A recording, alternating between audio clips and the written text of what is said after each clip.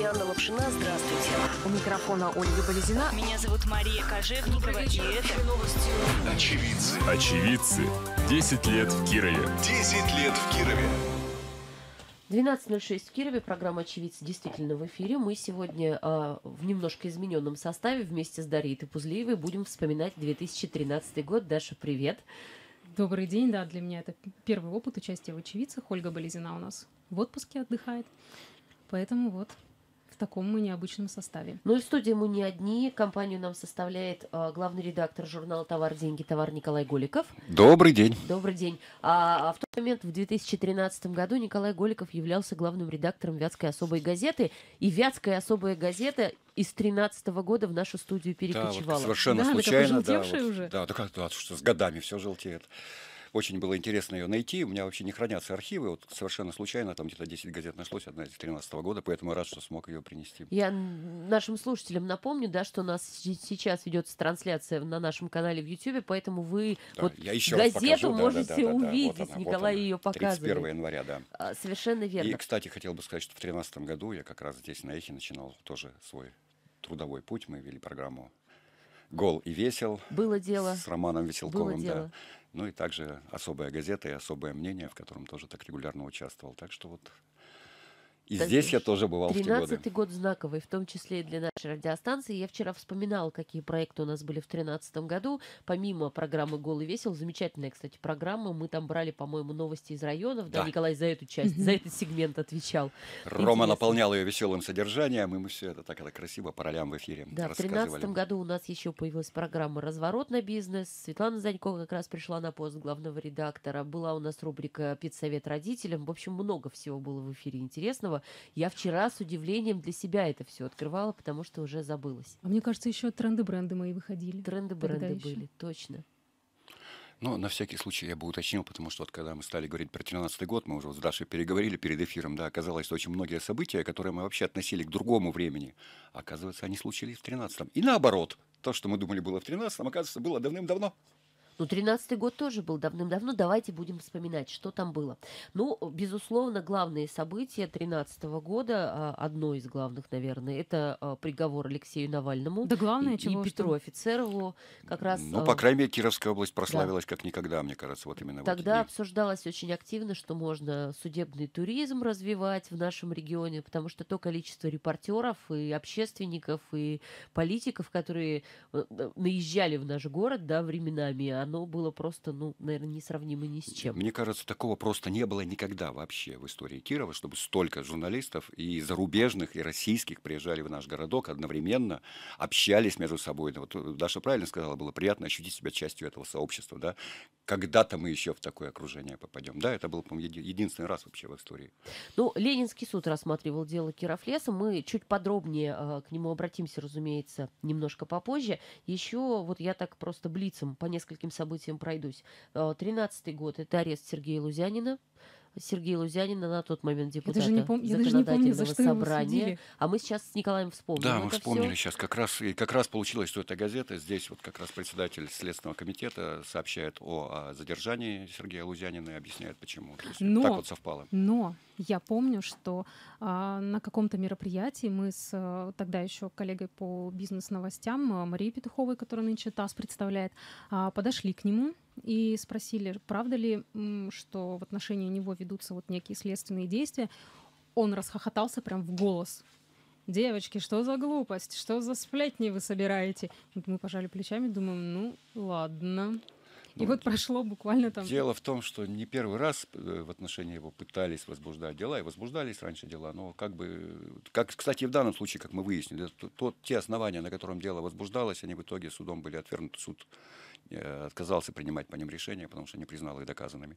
А сел он, в конце концов, за то, как считают многие, именно за эту инсценировку с падающим милиционером и с четырьмя сломанными ребрами. А, точно, да, сломанные ребра. Что там у тебя еще в Блице? А, дело и приговор а, по ДТП октября, октября, да, дело Эдуарда Игнатьяна. Старт программы региональных авиаперевозок. Ну, наконец, что-то хорошее, это был уголовка такой- уголовка. Был такой проект, Да. да. Был, был и работал несколько лет. Это было детище Михаила Бабича, насколько я понимаю. Это, да. это можно было одному, одному улететь в какой-нибудь город на маленьком самолете. Ну, действительно, мы И как Такое летали, бывало, да. мы Причем вот сейчас, вот я не помню, да, но сейчас, по-моему, уже нет. Но тогда можно в какую-нибудь, правда, Уфу напрямую Мгм. сесть и улететь, да? Сейчас нет. Сейчас уже нет. Сейчас приходится добираться окольными путями. Вот Уфа, Самара, пожалуй, это такие были города, в которые было очень удобно, наверное, добираться на самолете. Ну и Казань для тех, кто не мог доехать в Казань, там, например, на машине за рулем, да, это тоже было удобно, потому что полтора часа и ты в Казани. Я помню, я сравнивала эту историю с а, концертом в Москве, на который мы ехали, концерт Гребенщикова. Мы ехали по одной ветке с Бауманской до Крокус-Сити, это синяя ветка. Мы ехали час двадцать, а до часа, Казани, да. а до Казани летели час час тридцать. Ну, то есть это вот, э, если сопоставить, конечно, великое было дело, интересное и хорошее. Жалко, что закончилось. Не знаю, может быть, вернется Ну, что-то. какими-то частями где-то присутствует, пока еще совсем на нем крест не поставили. В каком-то виде, да. А, Дальше прям совсем коротко. Волна протестов против возможного строительства конгресс-центра в сквере на Профсоюзной, если кто помнит. Да. Да, Это так давно было? Да это было в Ну, 2013 да году. ж, Вятская это ж надо- промышленная Это ж палата. надо мерить так. Для меня это было совсем недавно, для тебя это было совсем Да. давно. Так в процентах от нашей Т- жизни. Тогда пояснял, что действительно в Кирове нет никакого э, здания, где могли бы собираться, ну вот приехавшие к нам сюда бизнесмены, да, в большом количестве и прочее. Было выбрано это место, но да, там, благодаря народным протестам э, и тому, что люди там и на субботники выходили, сейчас там все-таки сквер. Сейчас там все-таки сквер. А, закрывают ярмарку на Комсомольской. Если кто помнит, там Очень- очень предприниматели резонансная. Но закрыли ночами- ее все-таки уже позже окончательно. Ночами даже закрывать. ночами э, проводили там время. У нас, по-моему, даже корреспонденты туда ночью ходили и делали оттуда материал большой. Активно работает движение «Ночной патруль», ну вот как раз стартовавшие э, после дела Игнатьяна, задерживают пьяных водителей, которые отъезжают от клубов, и сейчас работает до сих пор движение. Не знаю, правда, насколько активно. Ну, там у них, насколько я понял, определенный раскол произошел. Вот те люди, которые его начинали, инициировали, они как бы сейчас уже э, считают, что то, что происходит, это уже не они, все не так, все уже как бы все под контролем других людей. Как бы, ну, так вот есть у них разногласия, но Э, само по себе движение Некоторые люди, да. там Сергей Косолапов, например, даже и не в Кирове сейчас, в Кирове наездами только. А, строится 50-метровый бассейн Быстрица. Причем сначала он строится без названия, и название бассейну выбирают горожане, насколько я помню. А, Я даже помню один из вариантов, его предлагали Да? называть «Белый медведь». ага. Да, в честь, если Клуба так можно сказать. клуба Нет, конечно. У нас же был губернатор Белых и был начальник департамента спортивного Медведева. В сумме получался очень красивый Ох, белый ничего медведь. себе. Да ладно, мне кажется, это была такая легенда. Неужели правда обсуждалось Ну, именно это, это, поэтому? это обсуждалось, эти названия принимались все, в том числе это название тоже участвовало в конкурсе, но победило название другое. Ну, победила «Быстрица», да. А, программа «Покупай вятские продукты» и а, карточки вот эти специальные для многодетных семей, с которыми ходили в магазины, да, вы помните, потребительский патриотизм. Общественные слушания в конце 2013 года были по строительству в парке у Дворца пионеров, и строительство было начато. Вот эта вот история а, с фермой Коперник а, и объектом, который тогда назывался Терраспорт, а сейчас это море-парк. А, знаменитое письмо Бориса Павловича Борис Павлович уходит из театра на Спасской, пишет большое письмо губернатору, почему я уеду из Кирова. Он говорит о том, что э, очень много молодых ребят, талантливых ребят, которые приходят в театр, и для первых, может быть, лет работы в театре а, те зарплаты, те условия, в которых они живут и работают, они достаточны, но когда люди начинают обзаводиться семьями, да, а, невозможно совершенно жить в таких условиях, и невозможно работать плодотворно. Дни романтики на Вятке. Первый раз они же прошли в А, 13 нет? да, да, да, Первый совершенно раз? верно. Это такая была история. Ну вот сказочные игры и дни романтики. Это такая Дни была- романтики я скорее как-то так помню с юмором воспринял, потому что когда Дни романтики и диджей Smash, по-моему, был у нас на площади, да? И диджей Smash как-то с образом Александра Грина у меня мало связался. Ну, думаю, ладно, пусть будет. Так, а, ну вот из совсем небольшого, но заметного в нашем эфире, это проект «Особый кадр» от организации родителей детей-инвалидов «Дорогой добра», когда они взяли а, известных людей Кирова, и эти э, люди фотографировались да, с особенными детками, да, там очень много было наших спикеров, были совершенно потрясающие фотографии, там с Александром Галицких, и с Михаилом Курашиным, и с Владимиром Шабардиным, и была большая выставка потом по итогам этого проекта, они эти трогательные фотографии до сих пор еще в интернете их можно найти, они, правда, дети уже выросли, люди уже ушли там, да, со своих постов. Ну, пора повторить, мне да, кажется. но теперь фотографии уже. были замечательные. А, что еще? Из спортивного, из спортивного. Но это, правда, новость 2012 года. В 2012 году, в конце 2012 года, э, летом, в конце августа, приходит в родину Владимир Янко, известный очень российский Самый титулованный тренер. специалист в хоккее с мячом в России. Да, на пост спортивного директора. И вот, собственно, сезон этот Родина отыгрывает вместе с Янко, занимает, И как потом говорили, что Янко выжил родину до последней капельки. Да? Да. Он все команды так выжимал. Он такой вот он менеджер особенный, что же делать. Пятое место, по-моему, по итогам сезона Родина заняла, но могу путать. Да, мне кажется, чуть выше Николаева, не помните? Я Да. сейчас уже не могу Вот в сказать. мае Я тогда- никогда не был болельщиком хоккея. В мае Вот про 13 футбол меня спросите, я скажу. Владимир Янко ушел. Про футбол спросим обязательно. Вот, ну что еще? В, киосках, зап- в киосках запретили торговать пивом. Да, Это такая федеральная история, не с Кировом связанная, но, но объекты нестационарной торговли из-за этого, мне кажется, большие убытки понесли. Многие но они просто закрываться стали активно. Ну и в конце года еще одна федералочка, да, Роскомнадзор определился со списком слов, которые нельзя использовать Вот этого забыть нельзя. Тогда их было четыре, сейчас их стало пять. Все, вот это блицем мы по событиям прошлись. Наверняка было что-то еще, что я не помню. Вот, но сейчас, наверное, мы все-таки приступим к, к более подробному там, да, разбору Я просто как раз вот основного. открыл газету, что ты еще не помнишь. Был суд, громкий суд в Советском районном суде Никита Белых судился с Сергеем Мамаевым. Это был 13 А, и год. вот эта легендарная фраза Сергея Павлиныча о том, что Никита Белых с упорством платяного шкафа. Он да, да, оборачивал. да, Я да, помню, да, мы, мы да. даже Это гугли- вот как раз 13 мы даже год. гуглили, пытались найти, что за упорство такое платяного шкафа. Вообще откуда? Откуда он это взял? Но это был его образ, он человек такой поэтического склада ума. Ну, нам кто-то звонит? У нас уже Ян Чеботарев на линии. Ага. Ну, у нас как раз к Яну вопрос по... Ну, перейдем тогда к этому пункту. Да, уже, давайте мы потом вот еще немножечко про суд поговорим. А, Дело Кировлеса, приговор Алексею Навальному. Ян Евгеньевич, добрый день. Добрый день, здравствуйте. А, Помните ли вы те события? Ну, то есть я вот вчера вспоминала, я так, а, если не ошибаюсь, это было 18 июля все-таки. 18 июля выносился приговор в Ленинском районном суде, который расположен, кстати говоря, в Первомайском районе, да, А, это улица Спасская, напротив дома Витберга. А, Многосерийная такая история, потому что изначально был приговор 5 лет Алексею Навальному общего режима и 4 года Петру Офицерову. А что было дальше? Там дальше была история, над которой хохотала вся Россия потом. Ну да, это не типовая была вещь абсолютно. Ну, конечно, я помню эту ситуацию не так часто. Может быть, к счастью, может быть, к сожалению, город Киров становится э, настолько известен в России. Являлся Киров у нас местом, куда съезжались журналисты со всей России и не только. Известные политики приезжали. Мне удалось и с Борисом Немцовым повидаться в тот момент, когда он приезжал на суд Навального, и с самим Алексеем Анатольевичем познакомиться, за руку подержаться. Ну да, безусловно, это был абсолютно нетиповой процесс, когда человек получает пять лет реального лишения свободы по ходатайству фактически прокуратуры, требовавшей реального лишения свободы и реального наказания. И буквально на следующий же день эта же проку- прокуратура, которая несколькими днями ранее требовала лишить человека свободы, выходит в областной суд с э, апелляционной жалобой, которая фактически мгновенно э, была рассмотрена, назначена к рассмотрению. И э, буквально через сутки после заключения под стражу Алексей Анатольевич э, покинул здание м, областного суда с достаточно высоко поднятой головой. Абсолютно нетиповая вещь. М, Здесь э, ссылки на его участие в выборах мэра Москвы, ну, на мой взгляд, ну, не выдерживали никакой критики. Такое ощущение было абсолютно и на тот момент, и сейчас, что это было абсолютно срежиссированные постановочные действия. А что вы имеете в виду? То есть изначально хотели дать ему э, реальный срок, а потом срежиссировали условный, или просто кто-то кого-то недопонял? Вот если мы говорим там о телефонном праве каком-то или еще о чем-то.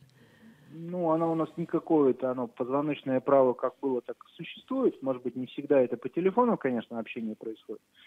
Э, Я не знаю на самом деле, кто стоял за э, режиссерским пультом и разрабатывал сценарий всего этого действия. Я не уверен, что э, подобного рода исход изначально прогнозировался. Я полагаю, что задача первоначально была осудить э, господина Навального и за компанию с ним господина Офицерова исключительно для того, чтобы осложнить Алексею Анатольевичу возможность принятия каких-то активных шагов, активного участия в политической жизни.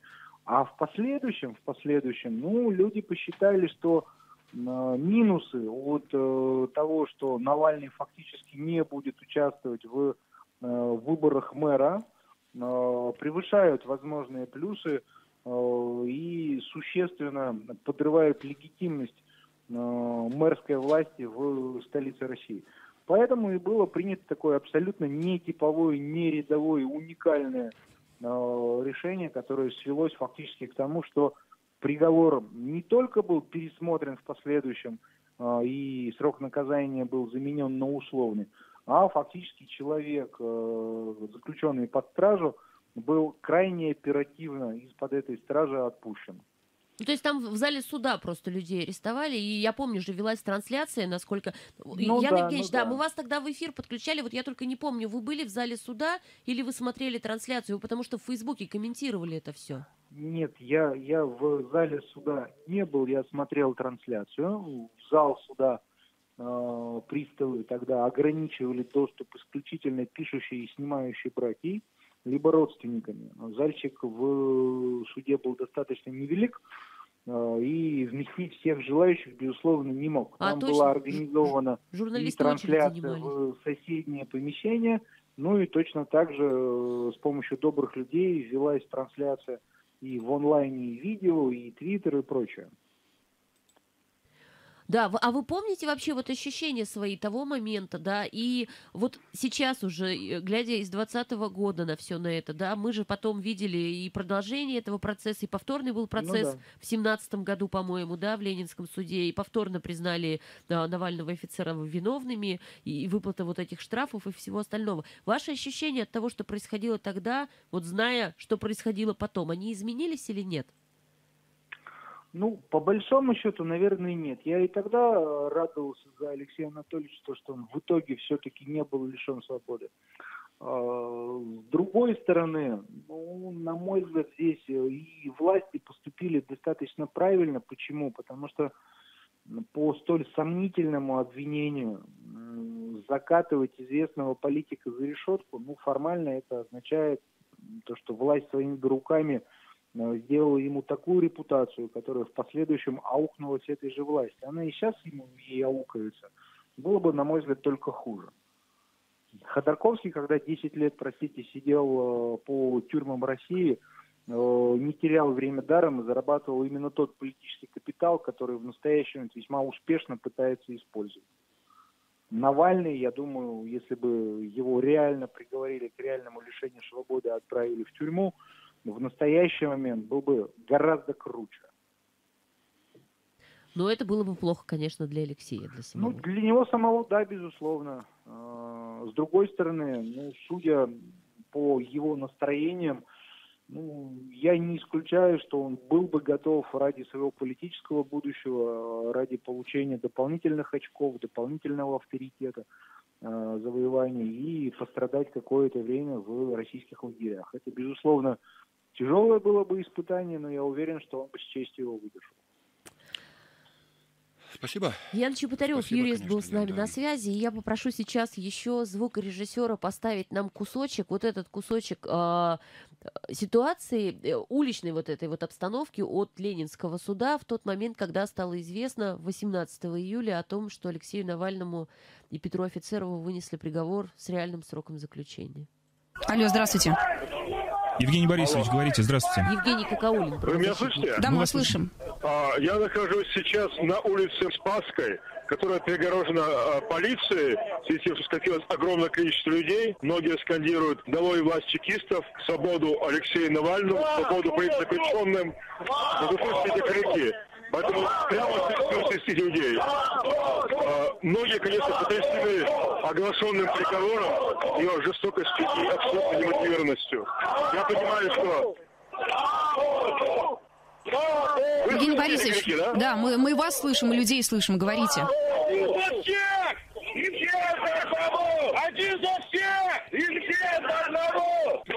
Алло, Евгений Борисович, вы нас слышите?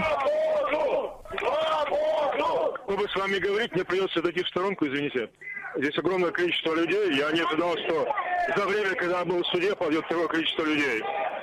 Видно, что многие люди потрясены. Они знают, откуда родилась легенда об условном приговоре, который может получить Навальный и офицеров. И впечатление, что никто несерьезно не готовился к тому, что это будет реальный срок, что они будут взяты под стражу прямо сейчас. Я думаю, что сейчас Навального офицеров отправят в один из следственных изоляторов, либо на Нагорну, либо на МОПРа. А никто не сообщает, куда, все ждут, когда их отконвоируют. Так приятно Ощущение, Свету с да? Игорем еще слышать. Я вспомнила, кстати, этот момент. У нас а, для этой новости была готова рыба, она висит на стене до сих пор. Я написала несколько вариантов. То есть я написала, что Алексею Навальному а, дали такой Условный срок, срок. такой, освободили. И мы стояли, вот ждали до последнего, потому что как раз а, должна была заходить я читать э, выпуск. Новости как раз должны были И быть. вот у нас было распечатано несколько вариантов этого выпуска с приговором. Да, действительно, это был Све- Светин с Игорем эфир. Не, это был не Игорь, это был Па- Павел Чарушин. Паша Чарушин а, заменял Игоря, потому Ага, что Игорь да-да-да. как раз Мгм. а, в этот момент был занят то ли, то ли вот там, Мгм. а, Где-то то, там, то ли, да, то ли где-то он еще сидел на новостях тоже в помощь там тебе, да, собирал информацию. И как раз Павел вел эфир. Было дело. Ну, вообще, да, конечно, там вот у Ленинского суда всегда было весело. Я помню вот э, тот день, когда приехал Борис Немцов.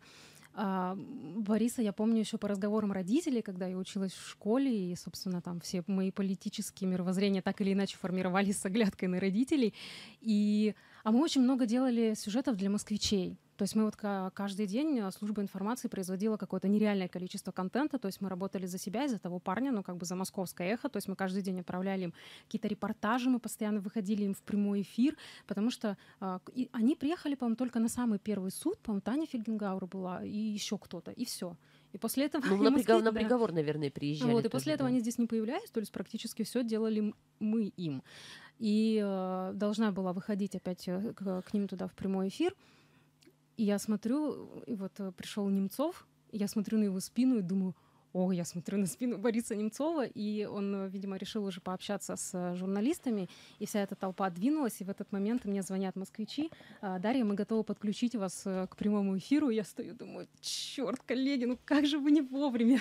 И я, если честно, даже не помню потом, в итоге удалось ли мне пообщаться с Борисом или нет, как-то вот память у меня заблокировала эту Вообще, это информацию. удивительная, конечно, история о том, что в Киров приезжал Борис Немцов. Вообще в Кирове, когда вот я сейчас старые эфиры наши архивные поднимаю, в то время значительное количество разных интересных людей, там, начиная от за- от зарубежных каких-то да, гостей, заканчивая там российскими политиками разного совершенно уровня, да, которые, с которыми, видимо, Никита Белых был знаком. В общем, вот такая вот история. Ну и обстановка, конечно, сама, и тот факт мы уже вспоминали, это не первую программу вспоминаем, все-таки там начало десятых годов а, в Кирове и в Кировской области оно было более активным, как мне кажется, в смысле уличных акций. Ну, кстати, я помню, что они, по-моему, да. потом ребята все от Ленинского суда, они вот этой вот организованной толпой, кричащей свободы, они отправились на Нагорную, насколько я Наверное. помню, да, вот они так вот по всему городу шли. А кто-то из ребят, либо, кстати, да, либо Саша, либо Игорь, я помню, они тоже выходили, Сопровождали да, их. Сопровождали эту толпу. Вот. Приговор Алексею Навальному. Так, двигаемся дальше. У нас остается две минуты до перерыва. Давайте мы сейчас очень коротко пройдемся по а, истории с а, делом Игнатьяна. Да, вот единственный вопрос, Николай, к вам, наверное. Вам как кажется? Ну вот я помню, когда все это начиналось, когда это все случилось, и когда все эти кошмарные подробности выплывали наружу, там, да, а три человека погибли, а, насколько я помню, да, и, по-моему, семеро получили травму в этой аварии. А, Тогда, а, когда появился ночной патруль, говорил, что больше вообще никогда в Кирове не должно быть допущено ничего подобного. А, а- а история это, как мы видим, там, да, так или иначе с разными вариациями время от времени повторяется. Ну, в таком масштабе, конечно, нет. В таком масштабе это было на самом деле какое-то выходящее из вон событие, вы- выходящее там за все рамки, да, то есть э, изначально до конца, самого начала истории до самого конца такого, конечно, больше нет. Но, с другой стороны, пьяные за рулем по-прежнему остаются, поэтому и молодые люди тоже за рулем остаются, неопытные водители, так что никуда это не дело. Научила эта ситуация кого-то кому-то? Вот чему- Я думаю, что, по крайней мере, это, эта ситуация очень хорошо научила, собственно, наших правоохранителей, судебные органы о том, что если такого рода вещи пытаться замять, как пытались замять дело Игнатьяна, то добром это не кончится, потому что люди выйдут, да. Ну, и это в какой-то степени пример для людей, что не всегда вот эта позиция э, там, касательно выборов, да, что мой голос там значит, она не всегда работает. Если мы действительно выходим и говорим свое «нет», то это Ты же вспомнишь, что тогда выходили и к прокуратуре сколько раз, и к зданию правительства выходили, Причем, люди требовали, э, активно очень требовали, вся пресса подключилась, Причем не я дали помню, это дело это, спустить на тормоза. э, стояла ужасная погода, э, там какой-то снег с дождем, с ливнем, и люди все равно выходили к этому октябрю, собиралось огромное количество октябре, народа, да, да, ну, против несмотря на погоду. как раз, да. У меня осталась такая фотосессия с того времени, как раз же и Никита Юрьевич приходил, да, и все так поочередно, лидеры нашего неформального движения, подходили к Никите, а я их щелкал, типа, вот я с Никитой рядом постоял, да. Вот на этих Никита вот Юрьевич акциях. приходил на, на вот эти вот на Да-да-да, на гражданские акции. Игнатьяновские акции он приходил, Слушайте, да. это вот что-то На удивительное. самом деле постоять с 20-го Никитой Юрьевичем было несложно. Из так. 20 года это выглядит... Они- на он потом стал менее гораздо доступен. На самом деле, с 20 года это, конечно, выглядит э, ну, несколько удивительным, да, Ну, можешь сейчас губернатора, на протестные выходящего да, на акции. протестную акцию. Не первый раз я это отмечаю. Игнатьян получил по вот итогам судебного рассмотрения пять с половиной лет колонии поселения. В Верхнекамском а, районе он отбывал наказание. а, И там была даже информация о том, что вроде как его собираются освободить по УДО. Но в итоге, в итоге он отсидел полностью, потому что были какие-то нарушения режима, и его, по-моему, даже на общий режим переводили из колонии поселения. Делаем сейчас перерыв на рекламу, через полторы минуты вернемся. Программа «Очевидцы», 2013 год, не переключайтесь. Программа «Очевидцы» вновь в эфире. Мы с Дарьей Топузлеевой и наш гость Николай Голиков, главный редактор журнала «Товар, деньги, товар». А в 2013 году, который мы сегодня вспоминаем, главный редактор «Вятской особой газеты». «Вятской особой газете» за 13 год. Тоже много событий наверняка. Ну, как раз а, вот мы собирали, собираемся Да. говорить об аресте Лузянина. Так получилось, что этот номер от 31 января совершенно случайно, не думая об этом, взял. И оказалось, что как раз здесь вот Житинев не просто так на первой странице, он как раз рассказывает об этом аресте. А я думаю, что это со знаком... мужчина со знакомым Мы уже, лицом. Да, мы да, уже да. немножко коснулись этого вопроса, да, вот в самом начале, когда анонсировали. А, история была следующая, насколько я помню. То есть это было 20, по-моему, 3 что ли, января. 21 января было возбуждено 21 дело, января. здесь есть эта цифра, да, обычно мы Да. дат не писали, здесь она есть. А, значит, Сергея Лузянина в Нововятском районе на улице. Не-не-не, подошли. 21 января было возбуждено дело по 23 злоупотреблению января. должностными полномочиями. Так. Вот. Потом, как, вот сейчас просто могу прочитать, что подозреваемый товарищ Лузянин сразу был подозреваем, да, вот, по таким-то причинам э, от следствия скрывался, сказано было, что он скрывался от следствия, Ну, что, не поэтому помню, пришлось подготовить постановление о его принудительном приводе, исполнения, или приводе, я уж не знаю, как по-милицейски правильно будет, исполнение которого было поручено коллегам из ОВД. В ходе доставления Лузянин оказал сопротивление. В результате одному полицейскому был причинен вред здоровью, сотрясение головного мозга, перелом Четыре ребра там говорили. да, четырех ребер и повреждение мягких тканей на плече и предплечье. Вот какой могучий был у нас депутат Сергей Лузянин. Отбивался как мог. Вот. Причем, как бы, ну вот, э, сколько людей не комментировали этот случай и со стороны там специалистов, э, медиков, и со стороны, то есть это совершенно невозможное событие. То есть человек, там, к которому подходят несколько милиционеров до такой степени, с одного он оттолкнул его, это все говорят, что он просто его оттолкнул. Упасть и сломать вот столько, это надо попасть в хорошую автокатастрофу. То есть, как бы, скорее всего, человек, ну, как предполагается, уже получил по своим служебным, там, либо неслужебным каким-то а, случаям определенные травмы, его специально туда послали, чтобы он упал. Да ладно, так Вот. раз. Так вот трактуют эту историю сейчас.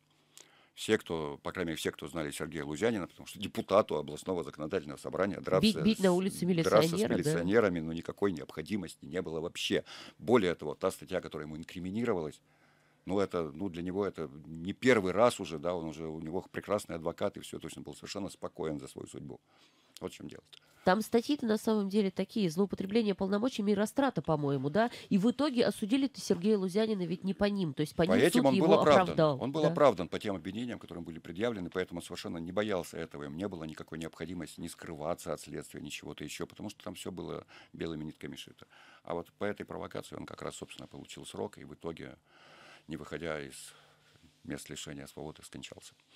Да, это было в 15 году, насколько я помню. да. Буквально перед А, выходом на свободу. Да, вот незадолго до того, как должен был закончиться срок по приговору, э, это случилось. И тогда было очень много. э, Но не забывайте, деле, что мы сегодня не упоминали Да. эту фамилию еще. Тогда же у нас был прекрасный, конечно, руководитель МВД. Да, да, да, да, да. Да, Сергей был Солодовников Сергей его звали. Солодовников, генерал, который с самого начала при фамилии Лузянин сказал, что он будет сидеть.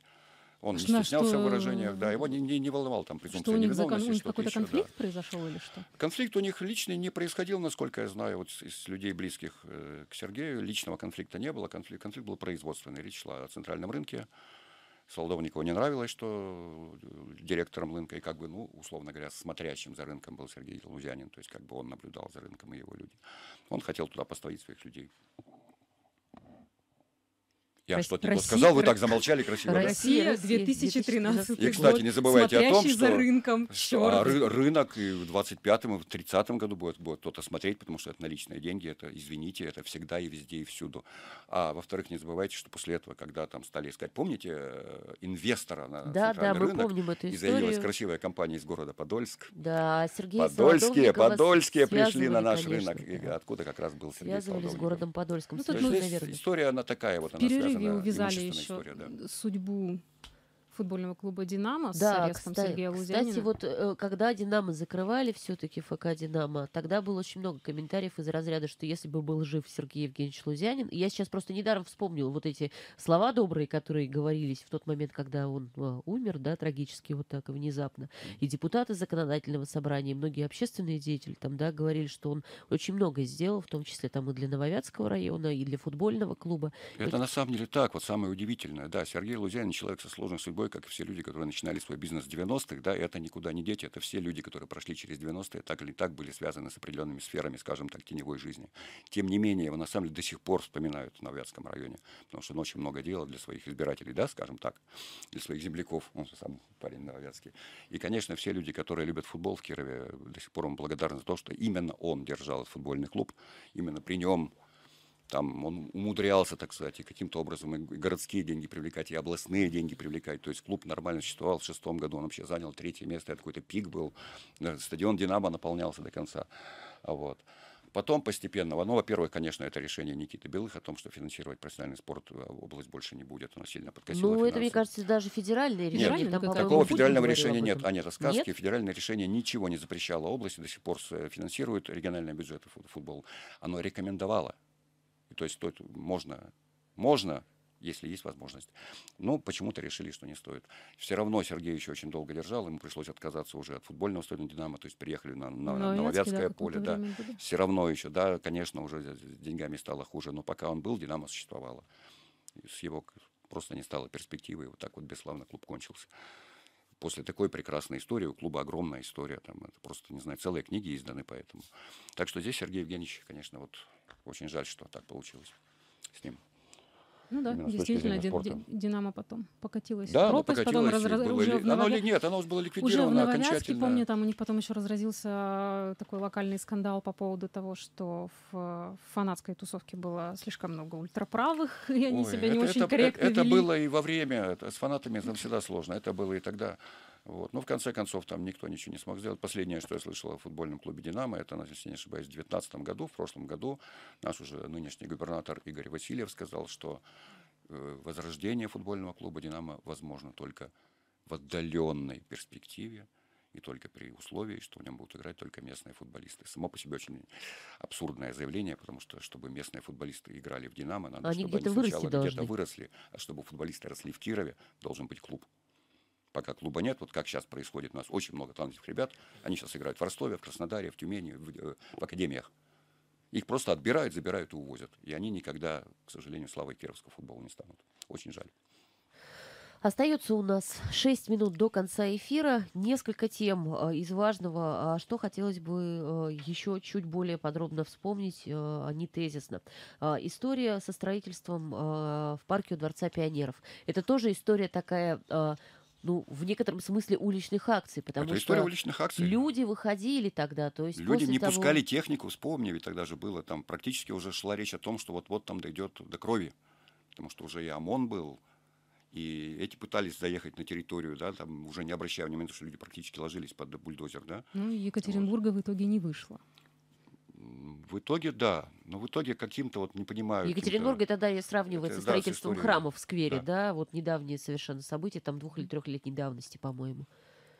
Ну, это, кс- кстати, да, вот эта история, она тоже такой ощутимый удар, мне кажется, по репутации Никиты Юрьевича был, потому что он был одним из тех, кто обещал, что Проект будет Всё построен. будет. Так он, собственно, его и продвинул. Проект будет построен, и проект будет именно спортивное э, такое направление носить, да. И вот вторая история, история со сквером по профсоюзной. Если здесь не получилось, да, в парке у Дворца пионеров, то в сквере на профсоюзной получилось. Я не знаю, там это Николай Михайлович Ну, кажется, э, все-таки репутационные вот эти вот вещи там, да, от себя отодвинуло, и было принято решение о том, что нет, давайте тогда, раз уж есть такой протест, не будем связываться. Ну, мне кажется, это во многом было связано с э, Липатниковым, что он просто отступил и, ну, и все. То есть там же не было каких-то ожесточенных Скорее- э, боев скорее или всего, Да, чего-то. потому что здесь был проект такой все-таки, ну, скажем, э, для области, для города некий, да, вот создание этого центра. Здесь в данном случае изначально речь шла, вот если говорим про Дворец пионеров, про некий коммерческий проект, который тот же Коперник, там, который к нам здесь в студию приходил, рассказывал. Александр Сенаторов, Да, по-моему, Александр его Сенаторов, звали. Сенаторов, его точно фамилия была. Он как раз говорил о том, что для них это очень коммерческий, очень важный проект, да, то есть здесь двигали деньги, а там двигал интерес городской, к сожалению, поэтому Липатников отказался от этой идеи. Я думаю так. Но сквер, который возник на месте э, несостоявшегося вот этого вот конгресс-центра, он кому-то нравится сейчас или нет? Ну, потому что изначально предполагалось, что все-таки люди подключатся, там, да, местные жители, еще кто-то, бизнес включится. Там самое сделают там- интересное, что когда вот возникла угроза, город что это сад. застроят, да, там люди активно подключились, стали проводить реально, вспомни, там проходили субботники, что мы готовы здесь сделать мероприятия какие-то даже вот. были, А да. как только территория была отбита, и он стал как бы официально значиться в, э, у нас в- на городской карте как некий сквер, как он называется, сквер там Героев Труда или что-то там, не помню название у него. По-моему, трудовой славы. Или «Трудовой называется. славы», да-да-да. Название ему тоже, кстати, долго Вот. выбирали, по-моему. То есть в итоге это место, вот э, речь шла о том, что там местные жители готовы сделать некий скверик, да, а сейчас это некая муниципальная территория, и все рукой махнули, пусть типа муниципалитет этим занимается. Ну, понятно, раз угроза, угроза отступила, Угроза отступила, значит, да. можно, можно расслабиться. Давайте все-таки немножечко под занавес о хорошем поговорим. Вот эта программа региональных авиаперевозок, смотрю. которая Киров все все-таки летать? Киров немножко Я очень боюсь, ли- приблизила. я очень боюсь летать, Я но просто не летаю из-за этого. ну я очень интересуюсь авиацией, видимо пытаюсь как-то компенсировать А свою мне, а, фобию. мне, а мне просто кажется, что вся вот эта вот история с работающим аэропортом и возможностью как в можно большее количество точек уехать из города, где ты живешь, оно способствует развитию твоего города и ощущению тебя это, все-таки это у тебя пропадает чувство как вот этой жителя вот э, большого глобальной города, а клаустрофобии. не Тебе не кажется, что ты заперт? Вот, Это, э, нет, это совершенно правильно, потому что вот, э, возможность мобильно передвигаться, особенно вот, что касается вот, территории российской, да, вот не просто там куда-то слетать в Турцию, это бог с ним всегда можно решить, а по делам, по каким-то, да, для бизнеса это супер. Это Ну, очень важно, чтобы вот можно было сегодня сесть, через два часа быть, извини, в той же Уфе, да, через полтора часа, или в той же Самаре. Очень многих э, кировских предпринимателей дела есть и в Башкортостане, в Татарстане, в Самарской области, в Саратовской области. И, конечно, в этом плане проект очень сильно помогал бизнесу, очень делал более мобильным его, скажем так. Этот проект, он все-таки был про экономику или больше про пиар? Как вам кажется? Изначально же он планировался как экономический. Именно то, что вот есть некое ПФО, не- некое сообщество, которое должно вот развиваться в рамках определенных, да, и тогда еще это Мы не сказали, кстати, там на каких условиях перелеты были. То есть стоимость перелета софинансировали. Субсидировали, Субсидировали, субсидировалось, да. да. Давались федеральные деньги, давались областные деньги. За счет этого билет стоил в два раза дешевле. Тогда еще не затихли разговоры о том, что сменится административно-территориальное деление, и что вот эти округа станут прообразами будущих больших макрорегионов. И речь шла о том, что нужно создавать единое пространство ПФО, да, и вот как раз Экономическое, перелеты, экономическое, общественное, де- да. а там все ведь и культура, экономика, спорт тот же, это все же сразу повышало мобильность и снижало затраты.